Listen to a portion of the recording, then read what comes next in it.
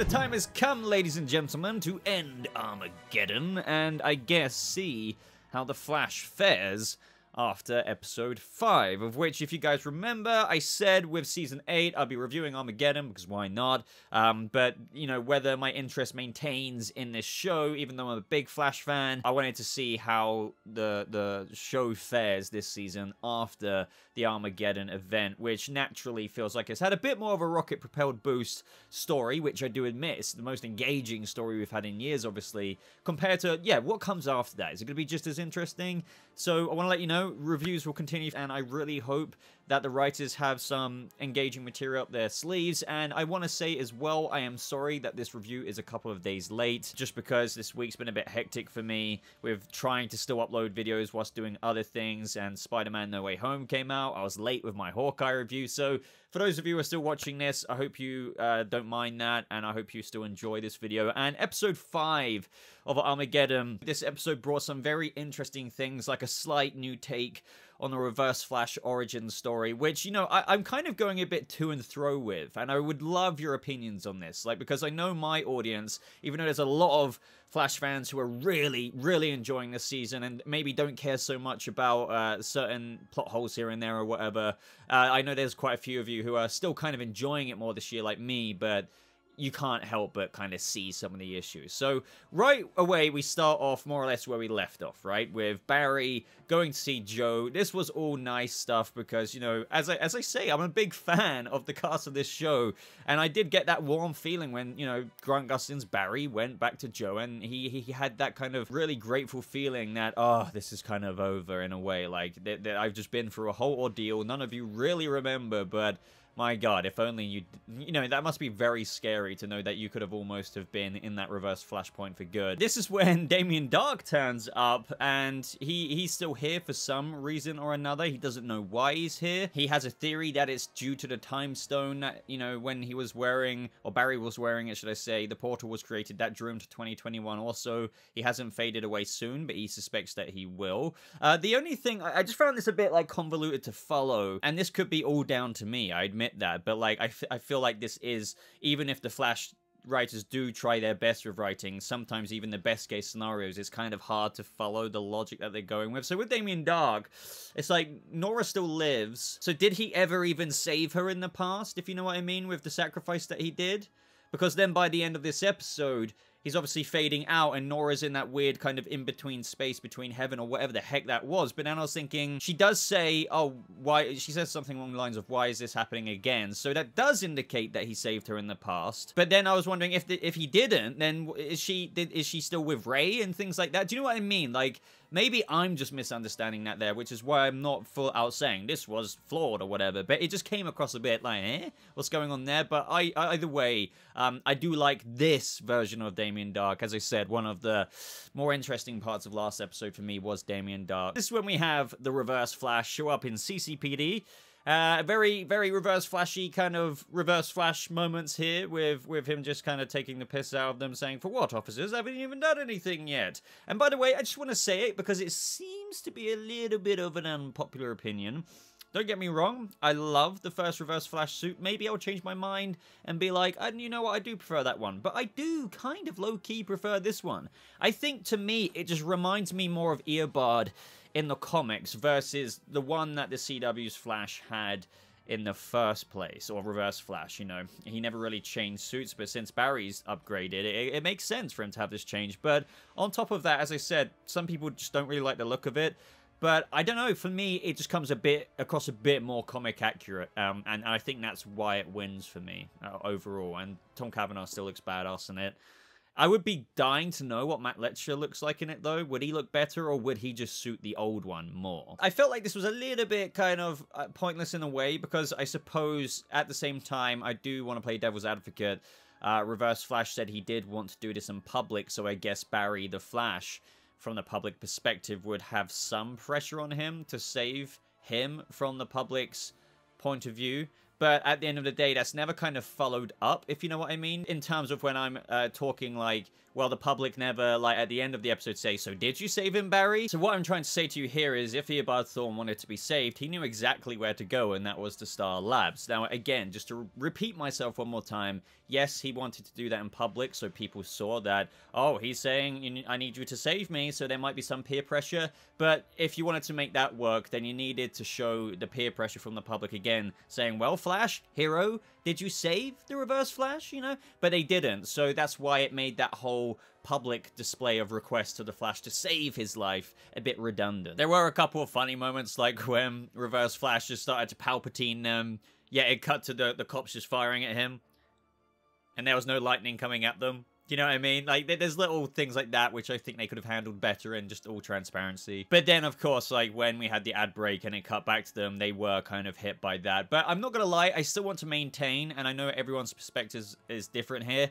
just with what Eric Wallace has done with speedster abilities, I prefer it the old way, and I know Flash and Reverse Flash have got more powerful over the years, but I'm just not a fan of using the Speed Force like willy-nilly, if you know what I mean. Like, oh, uh, I'm going to Palpatine you, lightning, like, you're unlimited power style. Like, I mean, at, at what moment does this kind of cease to not be overpowered? It's the same with Bart, Allen, Nora having like a whip of Speed Force.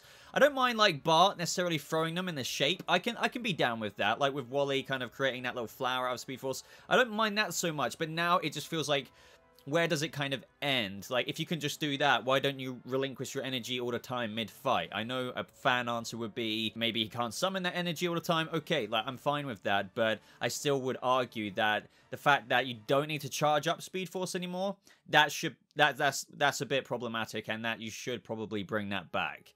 Um, I don't know if anyone agrees with me there. If you don't, I'm absolutely fine with that. You probably love this evolution and the way it kind of brings a cool power to it all. But to me, I just see more issues that it brings up than just cool outcomes, if you know what I mean. Also, when Mia Queen came in, I'm not gonna lie, all I was thinking was like, Thawne, you're a speedster. Use your speed. Use your speed! I mean, he obviously does eventually use his speed, but you get my point. Story here is interesting in the sense of, I think, obviously, if we got Green Arrow and the Canaries as a show, um, William going missing at the end of the Backdoor pilot episode for Arrow would have been turned into something else completely different rather than him being stolen with a temporal energy signature mark that led her to believe temporal signature mark or whatever means time. Um, you, you, get what I'm saying now. Obviously, since that show isn't happening anymore, they the Flash writers got the opportunity to carry that along and made it. I, am just interested to know what that would have originally have been. So this is where things get a bit dodgy for me, and it's just like Flash logic here. I like the effort that the writers seem to go through here to try and explain it. For example, we have Barry explaining what's happening to Thawne with the fading in and fading out, because once that process is complete, he will die, just like what threat Barry was under in the reverse Flashpoint. Iris does point out, and, and I'm glad that they included these lines, because they're probably thinking about people like me. It's like, well, someone's going to ask, but he still came back after that, you know, in Season 1, so, like, could that happen again, because he was fading in Season 1 when Eddie killed himself, because that meant that he was never born? So that makes sense, right? Like, he came back after that, and he was literally disappearing from existence. But this is where things get a bit here for me because Barry's like, no, this is um different because when he reset the timeline, he used Damien's time stone and it eliminated all possible time variables, restoring a single permanent timeline. So kind of think of it like if you watched Loki, a, sacred timeline has been restored. So the effects of season one with Eddie, you know, doing that to himself, and then that meant Thawne was being erased. That is being maintained again from season one up until now. Thawne is in present day. He is here. He isn't hiding anywhere that would stop him from dying, so he is thus fading. But this is where the issue comes in for me, because where Barry says it's different, but it's like, well, why though? Even with the explanation you just gave, I still argue that he can do the thing that happened with Reverse Flash still coming back after season one of The Flash and into Legends of Tomorrow. So if you remember, he managed to figure out a way to come back, and that was through, I believe it was like a time remnant, if you if I remember correctly. So that meant that arguably that can still be done, even though the Time Stone reset this timeline into a sacred timeline where the repercussions of Eddie's death caught up with Eobard Thawne and so he's disappearing, he could still do that thing in Season 1 that, that ensured his survival into Legends, albeit he was being chased by Zoom, a, a Wraith, a Time Wraith. Um, or even like for example can't a future Eobard with an explanation they gave as well at some point in time after he's erased in this episode one of the explanations they gave like in season one he was inside the negative speed force at that time in with that version of Eobard in the future. Therefore he wasn't affected by the time blinking him out of existence because he was in like a place where it just wasn't being affected at some version of himself at some point in the future. Like all of that i argue still stands or like could still stand because he didn't have to go to the Flash in this episode, and he could have like hid out uh, somewhere where that ripple effect wouldn't catch up with him. Granted, his life would be difficult and he would be on the run, but if he really wanted to live that bad, I don't think he would go to the Flash first. He would come up with a way. And the way the writing's trying to get across to you is that no this one's different but it's actually not thoroughly explained. You just have to take it that it's different. Really what they have explained is that we're at where we were at at the end of season one. Eddie died. That means thawne will cease to exist in the future because he's never born. So yes this is different because of some reason but there's no absolutely no reason as to why he can't try and take the measures he did to still somehow glitch the system of time and, and stay in a negative speed force or a future version of him. Bottom line, I think he could still survive to become a living paradox again, but they just don't want to do that again, understandably, to retread that same storyline. But uh, in universe reason, I still argue that can be done. Now, as for the whole Green Arrow and the Canary storyline continuing with Mia, there was one part of me that's like, oh, it's nice to see like Oliver's daughter. She is the future Green Arrow, but for the three quarters part of me, I'm not really invested in it, so I just didn't really, to be very candid with you and Frank, just I, I just don't really care about this part of the storyline in this episode. We had Iris ask for, you know, have you asked Felicity for help, and then Mia says something like, well, she wouldn't understand what I've had to do to get this far. So Iris is like, have you done the thing that's so far maybe that you've killed? No, no, no, no, but I will if I have to for William. Okay, so why can't you go to Felicity then if you haven't gone that far?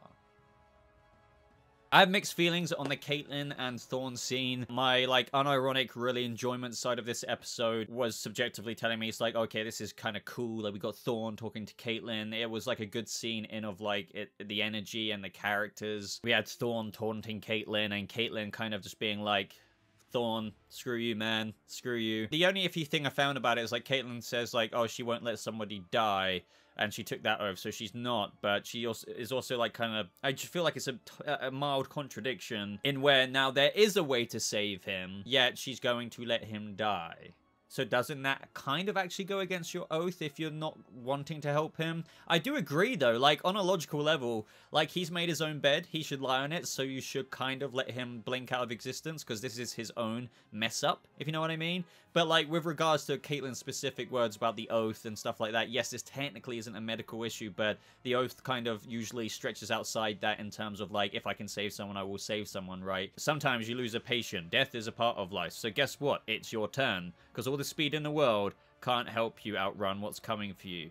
So that line of sometimes you lose a patient, death is a part of life, that's when like you can't help someone. Let's say they're dying of cancer and like they've only got like a week left to live and you make them comfortable. The, the, the contradiction here is, Caitlin, you can help him.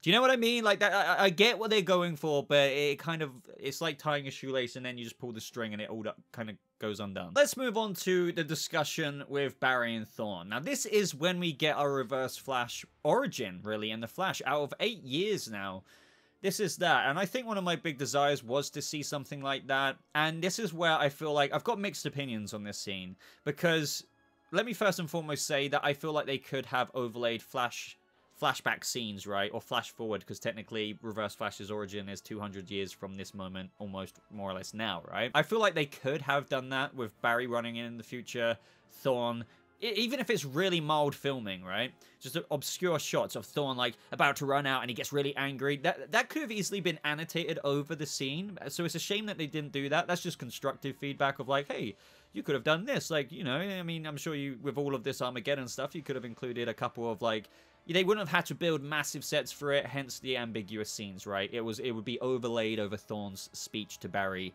as to what made his origin and his resentment for Barry begin. I do think in my personal opinion, not that I should need to state that because whatever I'm stating is my opinion, um, is that it, it, was stupid, like his reasoning. However, the defense for that is this guy is crazy, right? Like that, that that's something I can't really argue with. Because when he says they meet two centuries from now for the very first time, because basically a situation happens and where our Barry, I guess, has to run two centuries into the future as a part of his investigation, that brings him temporarily into Thawne's time and before he runs back. But during that time, just before Barry showed up, Thawne had gathered ways to get speed. He he in his own time, where Barry obviously isn't at in terms of unless he travels forward into the future like he does, doesn't really exist in, in a normal everyday life. So there's no speedster, I guess.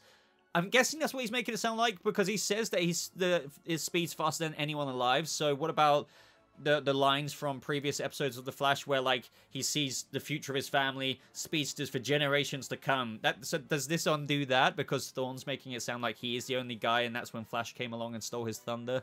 Either way, let's just brush that aside. He was about to present himself to the world, but Barry showed up. He was doing his own little investigation temporarily before he ran back, but he dazzled the crowd. He saved the crowd that he was meant to save, Thawne was meant to save, and he's just insanely angry and jealous and envious of, like, why did you do that? That was meant to be my moment.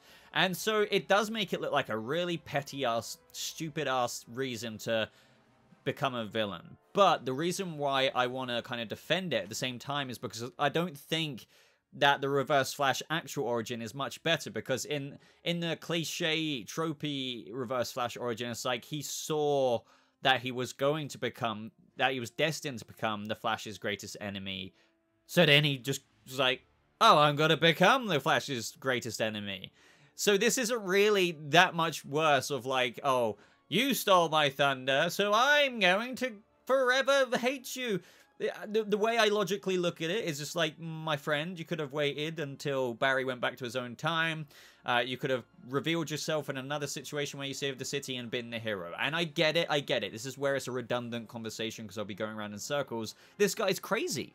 So it doesn't really matter what I think because a crazy sociopathic, psychopathic person would get triggered over something so small. And as Barry literally says, only a sociopath would react to something so small with that kind of rage. Exactly. So you could say that the Reverse Flash is like a dumbass and like whatever, right? Why would he do this? Or like he he could have been angry for sure, but like then why become the villain? He could have still have just been the hero. Um, it doesn't really matter because he's crazy. So I guess that is that. In conclusion, I just don't think it's like a very good origin story. I think that's what I'd say overall, even with the defense of said man being crazy. I think what's cooler is the Hunter Zolomon story because with that kind of reverse flash story, right, you then have something personal that kind of motivated him to go after the Flash in that version of the Reverse Flash's story compared to Eobard Thawne is just like, I see myself destined to be the villain. I'm going to become the villain. Or in this version, you stole my thunder, so I'm going to, like, destroy your life. No. At least with the other story of Hunter Zolomon, it's like he's motivated by something a bit personal that it rises him to that rage. That's why that one's more tasteful for me. And I, I guess I wish the Flash show uh, with this origin. Added in the admiration that Thawne mentioned he had for the Flash in the future, but maybe make something inadvertently happen to him that the Flash caused that he twists in his sociopathic way to overreact with still. I'm fine with that, but like at least make it a bit more personal where maybe something happened that the Flash caused where a loved one died or just something where like he dedicates his life to such vengeance no matter if Barry was innocent and whatever happened. Or like in the Hunter Zolomon kind of story, like the Flash wouldn't help him get speed to kind of uh, relieve his paralysis, if you know what I mean. And so he kind of like took that personally. And and the funny thing is though, is that as dumb as what Thawne does next is so characteristic of uh, the Reverse Flash, excuse me, uh, and where like even when we have Barry say, okay, okay, okay, right, right, right. If you won't stop hating me, what happens when I do save you? What will you do? And, and I think it's because he's so confident in the Flash saving him and knowing that Barry Allen won't let him die, he's just full on like so transparent and where he says that he admits that he'll go on with his life's work. If you save me, man, I'm gonna find new ways to kill you. And it's just like, dude, like I get that you're like edgy and you're in a reverse flash, but I wouldn't be that transparent in this moment. So I, that does make me think Thawne's a bit of an idiot, but hey ho, it's still characteristic of him because that's how cocky he is and overconfident he is. But I still don't think the character is that smart if he if he's got to risk that because he does already before this point show some concern about them saving him. Like You better do it, guys. You know, so if you're kind of even 10% apprehensive, you wouldn't risk, like, revealing that. If you save me, I'm to kill your family. And this is where I have issues with Joe and his lecture to Barry and Iris later on. Another kind of thing which is a bit problematic for me is this is when Despero appeared. And he went to the future to see if Armageddon was prevented. And the, the consensus is that he needs the Reverse Flash to die. Because with the Reverse Flash still living, he could still bring about Armageddon. This is where something happens which I just find, I feel like it fractures the character of Despero a little bit. So in this moment, Barry, in the heat of the argument, is like, fine, you know, why don't you kill him or whatever? And, and Despero says, I, I would kill him myself, but it would risk him coming back as he did before, and thus, you know, if they so what he's saying there is he wants reverse flash to fade out over the next hour or two right he would snap his neck or something but that would for some reason risk him coming back like he did before um, so he, he Despero's motivation is he needs to fade. You need to let him die. It just needs to happen. Because otherwise, in his only motivation to prevent Armageddon, it, it just would risk Armageddon still happening. He can't risk that, right? Then, BRB, at the end of the episode, he goes to kill Thawne. In, you know, the Flame of Py'tar, a massive explosion. That would have killed him, the Reverse Flash, before he would have faded out. Thus, the issue being for me with Despero's character and how it gets a bit rid of a bit of his motivations is like it would risk bringing about bringing about Armageddon. Now I tweeted this and somebody replied to me, and I'm always game for this by the way. I'm always down for this discussion. Well, he just risked it.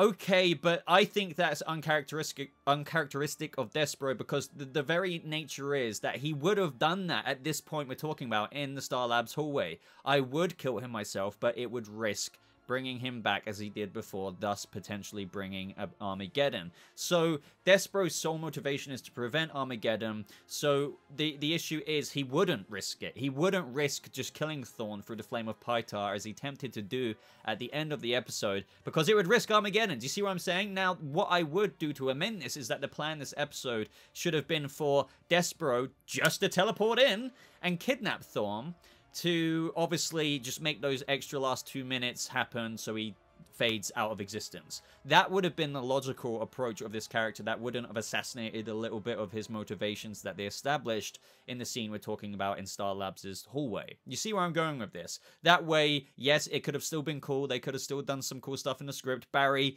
and Iris uh, or Chester and that would have been saying like, "Oh, where is he? Like, we need to locate where Despero took Thawne." So then they like race over to whatever location Despero teleported Thawne to, because the idea would be that obviously he's not going to contradict what he said earlier. I would kill him myself, but it risk him coming back before, thus creating Armageddon. He kidnaps him through his teleportation, which he's shown to be able to do, and you know waits for him to blink out of existence but there's all this tension and you know uh, th this rising tension of team flash getting to and finding where despero is in time and then when barry does eventually get there not only does he have to defeat despero when he's found out the location he then has to quickly drain thawne's powers. Do you see what i mean? That's the more logical approach but what they did do they gave the line to despero the guy trying to prevent armageddon and didn't even want to risk killing him and then ended up contradicting that and then did the very thing he said he wouldn't do whereas he could have just kidnapped him. I know i keep repeating myself but i feel like i need to sometimes in these videos because some people just feel like what i'm saying doesn't make any sense but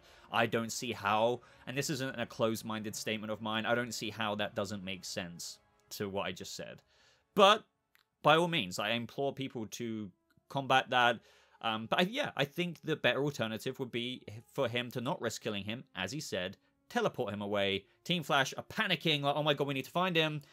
That brings tension, still leads to boss battle, still only two minutes left for Flash to quickly do that.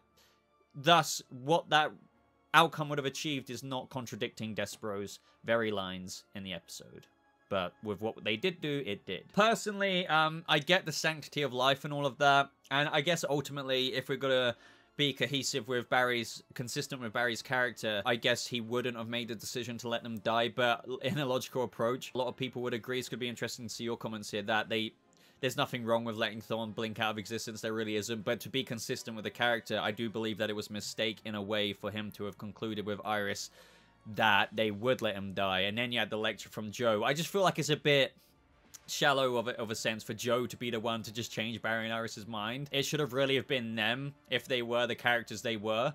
Um, but arguably, if I zoom out of the box, like from my perspective, there's absolutely nothing wrong with what they're doing. Like I found it even funny when Chester and Allegra were like, "We know we're the new kids here, but we don't have the same history as Thawne." Exactly, you don't. So shut the feck up, kind of thing. It's just like you don't look like it, this is a mistake. And uh, by the way, long story short, to when I get to the end of the episode with them keeping Thawne around, that this is a mistake. They're probably going to write it off from here on out.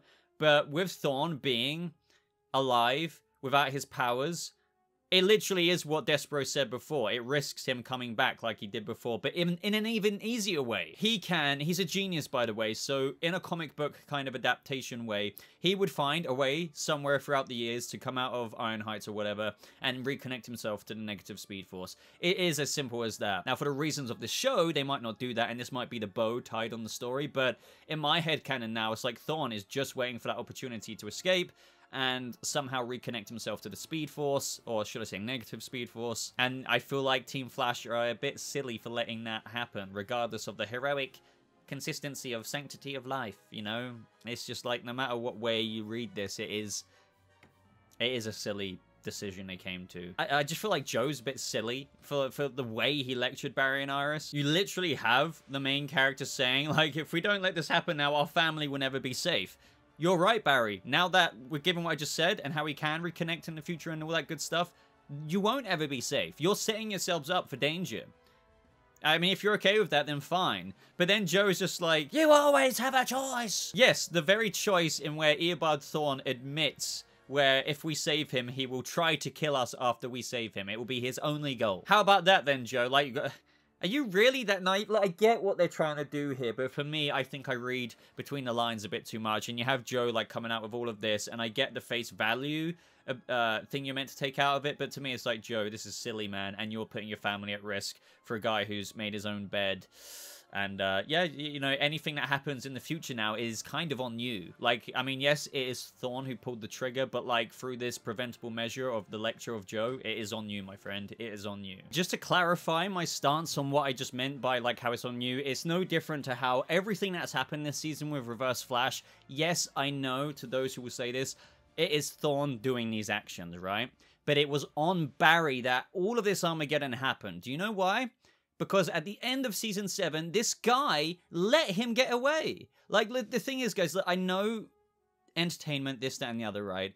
But when you think of it objectively, without the bias of enjoying this show, you can't ignore the facts. Barry completely rinsed the reverse flash at the end of season 7. He was standing there, could have taken him to Iron Heights, could have bested him, right? He already did. So who's this really on? Who could have prevented what the reverse flash did through apprehending him, metacuffing him, taking him to Iron Heights? Um, all of that good stuff, right? Barry Allen at the end of season seven. It's no different to that with what I meant with Joe and, and whatever happens in the future, future, future, future with Thawne after his Iron Heights cut off connection from negative Speed Force. You, you, I, I, trust you get what I'm saying there. It just makes the main character, as of the end of season seven, look a little, just a little bit silly for letting him go away and cause Armageddon and stealing his life through the reverse flashpoint. You get my point. You get my point. You get my point. I hope you do anyway. I don't see how you couldn't see that. like, I'm, I'm really not trying to sound condescending there. It's just like, how can you not see that Barry let Thawne go and he would only know that it would cause all these issues?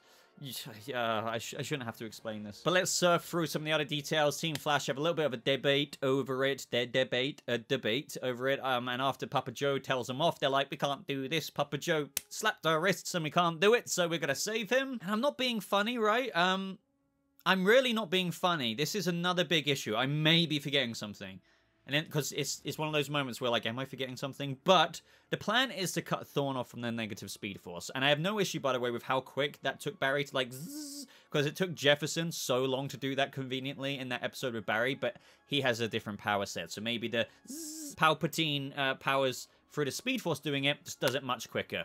Fine with that, right? Honestly, I can see logic in that. But just because you're cutting off Eobard Thawnius from the negative speed force, and with the explanation they gave earlier with how this is now like a sacred canonical timeline to the season one moment and where Eddie, you know, did the thing, and that meant it was blinking out Eobard, just because you cut Mr. Thawne out off the negative speed force, why does that mean he doesn't get erased from time? He still ceases to exist in because of what happened. Stop asking questions. Stop asking questions. That's what they expect you to go along with. Do you see what I mean? Do, do, do you see what I mean? Just because he's cut off from the negative speed force, why does this mean he's not blinking out of existence now? They literally stated with what Barry said, like it's now one timeline, sacred timeline thing. Those events of what happened in season one, catching up with Thawne. He still isn't going to be born because of what happened with Eddie. Uh, I guess maybe that to be fair, playing devil's advocate here. I guess the reason why this is not blinking out of existence, and hopefully they drop a line in about this, is because we have Eddie returning. I think that could explain as to why he's still alive and now and not being blinked out.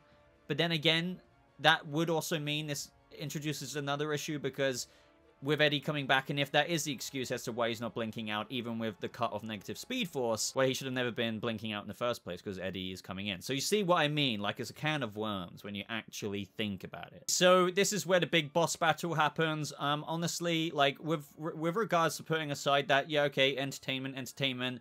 Um, just to be very candid here, and this is what I mean by this is why I say brutally honest reviews this season. Um, it, it doesn't entail a bad review. It just means I'm going to be candid and frank with you without really caring about alienating the most fan of fans. You know what I mean? I'm not going to be respectful, but just call it how it is. So he he he teleports Barry in this moment. He's like, stand down, let Thawne die, or suffer the consequences. So he teleports Barry Allen. What does this show? He can teleport a speedster so why doesn't he do that with Thawne? To obviously let him disappear for the next two minutes with my theory that they probably should have gone with in this episode, which would have made a lot more sense and also not contradicted Despero's motivations with what he said to Barry. You know what I'm talking about. Now, the battle, as I was getting on to, um, I thought the CGI was honestly the worst it's been in some of the seasons. Despero's was alright, and I've maintained that all crossover, but Barry, the return of Plastic Man Barry came back, and look, look, look, people might be like, yeah, but it's a limitation of the show. Okay, fine. But that doesn't mean I'm not going to call it wacky Play-Doh CGI. And that's what it was.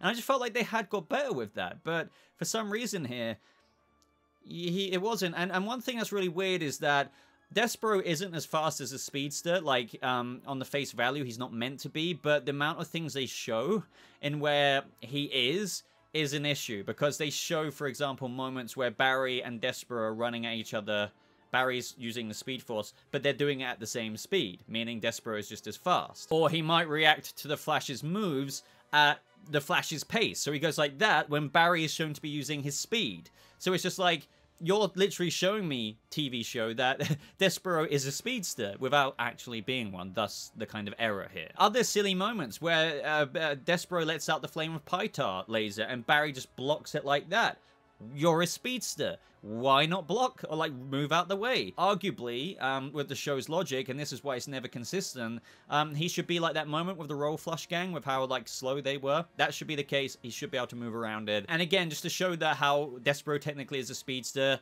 uh, in between super speed running at Despero, Despero in between all of that. And again, they're showing Flash using his speed, running up to him. But in between him running towards Despero, he's shown to uh, keep lasering and rip off a car door and throw it at Barry, all whilst he's running at him. What does that mean? That technically he's even faster than the Flash if he's able to pull off all those things where arguably the logic should dictate that with Barry using a speed force, he should have been boom, already there before he even put out the first laser, let alone before ripping off the car door and throwing it at him. Despero also, when this like is kind of over for a minute or two, goes back into his natural form, teleports the flashback to Star Labs.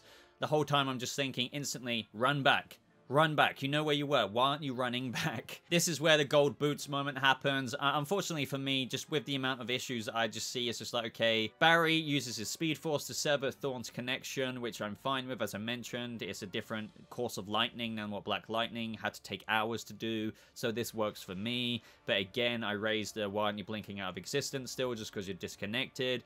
Uh, you're, you're, still a threat. Like, I, I argue that Joe and all of this, it's really silly logic because now he is a threat still and more motivated than ever to kill you and endanger your family. The end scene, all of this stuff with the slow-mo walk, the little kind of wow, wow, wow, like music. I just, mm, yeah. Joe now having a time stone, that's going to come in handy, but also I'm very nervous about that because of what that entail for logic in the future. And again, I'm not trying to come across Vulcan here. I just want good writing sometimes. And This is just, I'm worried about that time stone being used to completely come across as a plot contrivance. After the speech and everything, we have that post-end title scene where they did a Shining type reference. I like that with how they zoomed in, zoomed in, zoomed in, and you saw Nora and Bart Allen there, which, you know, I'm kind of looking forward to. Like, as I said, I am. Like, I like Nora and Bart Allen, but hopefully the next couple of episodes in story, even though I've heard it is an interlude, uh, I hope it's good. I really do. But anyway, everyone, long ass review again. Um, I hope you enjoyed it. Uh, I trust a lot of you do. I get some people saying like, "Oh, guys, this this review is almost as long as the episode itself." I'll let you decide what that means. Just don't watch the video, then, my guy. For those of you who have watched the video this far, I would love to know your thoughts on my thoughts. I am still grateful for the more engaging storyline that the showrunner and writers have come up with. It's been interesting, but I still am apprehensive about the future of this show, especially outside this crossover event. I think you can understand why I'm apprehensive given all the issues I've raised. Like this video if you did enjoy it. Do consider subscribing for more content like this with all kinds of other things. I have a Spider-Man No Way Home spoiler-free review, by the way, up on the channel. Check out my Hawkeye review. Other than that, ladies and gentlemen, thank you so much for watching. I hope you all have a lovely rest of your day, and I'll see you fellow speedsters in the next video. Goodbye.